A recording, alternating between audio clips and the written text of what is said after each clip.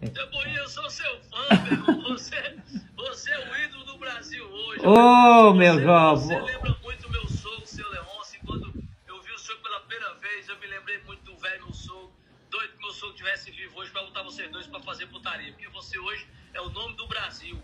Parabéns o que você está fazendo aí com seu filho, com a brincadeira. Você tem alegrado muitas famílias e eu não poderia deixar de lhe ver. Só que eu cheguei, felizmente, não deu tempo ainda de encontrar com o senhor, mas não se preocupe não, viu? Tá bom, cremado, a gente se encontra no, nem que seja no, no, no, no, nos infernos. Nas profundas, lá nas profundas. Ei, cara, eu, eu, eu, eu que sou seu fã, meu amigo. Eu, eu gosto de você, de seu pai. Adoro. Você queria matar papai, que eu tô ligado aí. Tô- não, de de jeito nenhum. Ama, meu irmão. Pode contar com a gente que quando eu for pra Mossoró aí, ou se o senhor vir pra cá, a gente vai mar- vamos marcar alguma resenha pessoalmente. Tá certo.